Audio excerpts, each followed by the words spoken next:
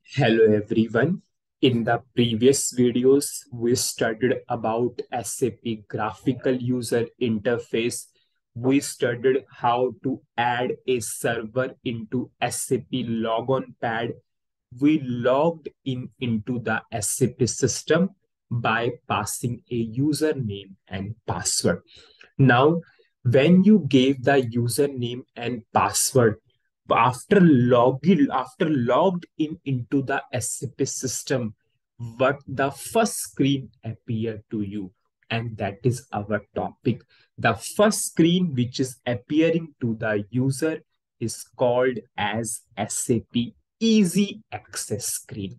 Suppose if I will show you, if I will log in again into the SAP system, I will double click I will double click onto the server. Now I will give the username and password. This is our SAP GUI. With the help of SAP GUI, this is our graphical user interface. I provided the username and password. And after that, what the first screen is appearing to every user is SAP Easy Access screen. Now, if I will read the first point, after login into the SAP system through graphical user interface, the first screen which is appearing is called as SAP Easy Access. Now, if I will go for second point, it is a user specific point of entry into SAP system. Yes, this point is totally right. This is a point of entry into SAP system. Whenever I logged in, this is the first screen. After that only I can do the further things or I can access the applications into SAP. So it is a user specific point of entry. How I entered, it's a entry point for me into the SAP system. Now, if I will go for the third point, this SAP Easy Access is also called as SAP User Menu. It is also called as SAP User Menu. Just see, it is clearly saying SAP Easy Access User Menu for this particular user. And what is this? This is my user ID.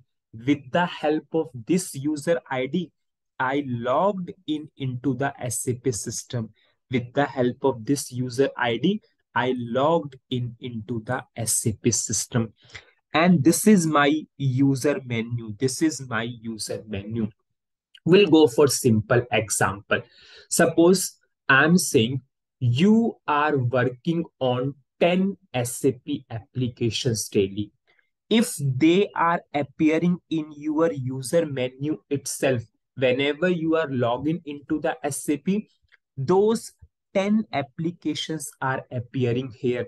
So from here itself, you can access those 10 applications. So just see, Word itself is saying easy access. You can easily, easily access those 10 applications. Suppose simple example, I'm a technical person and daily I'm working on, or daily I'm working on 10 reports or 10 transactions if they are appearing here itself in my user menu, I can access those applications very easily. From here itself, I can navigate to those 10 applications.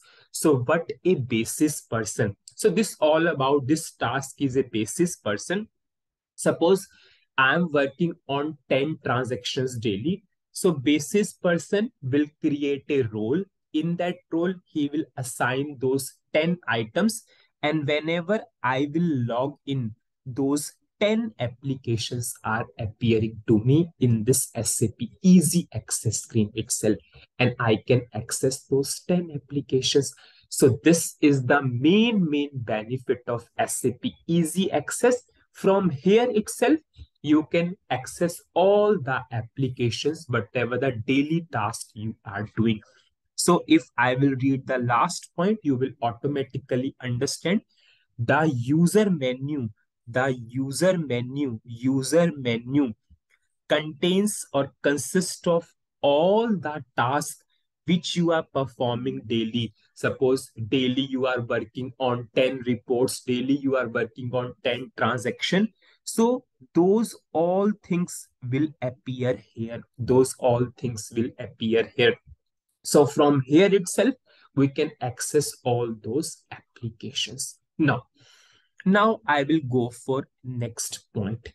In this SAP Easy Access, we can create favorites also. Yes, this is a very, very, very useful feature. Suppose I'm accessing 10 things. So I will add into my favorites. So how we can add favorites? Suppose if some existing item is there, if some existing existing item you want to add into favorite so how you can add? You can select you can go for favorites and you can go for add.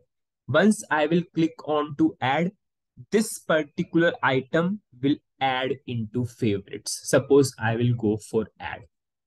Have you seen in this message overview notification added to my favorites yes so now, suppose this is the way how a existing item you can add to the favorites. Suppose you want to add a new transaction to uh, you want to add a new transaction to the favorites. So how you will add? Suppose you can go to favorites, you can choose favorites, you can go to favorites, and we have a option insert transaction.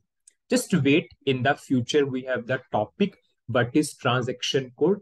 Suppose I am always, always working on the classes. So I will add SE24 transaction code as a favorite. SE24 is the transaction code for the classes. And you can see ABAP class builder is automatically coming. Whenever I will double click, you can see I will navigate to class builder. Suppose I want to go for function module, I can access from here.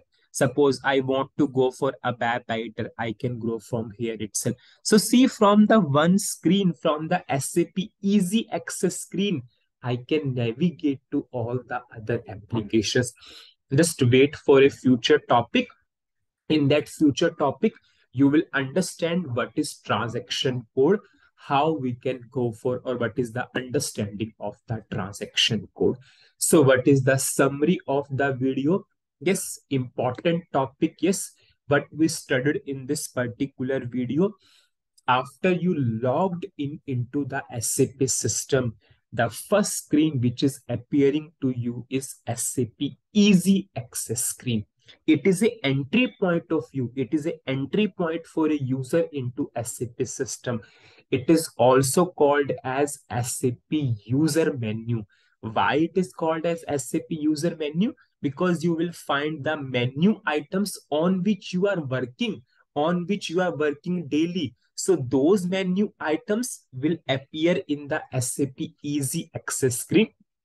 SAP basis person will create a role whatever the menu items you are working frequently, he will add those menu item and whenever you will log in, those menu items will appear and you can go for all or you can access the applications from SAP Easy Access screen itself. Then we studied if we have a existing item in our user menu, if we have a existing item in our user menu, how we can add? You can simply choose the existing item. You can go for add. If you have a, if you want to add a new item, so how you can go? You can go for add, you can go for favorites and you can go for insert transaction. In the next few videos, in the next upcoming videos, you will also learn what transaction code is. So that's it in this particular video. Thank you.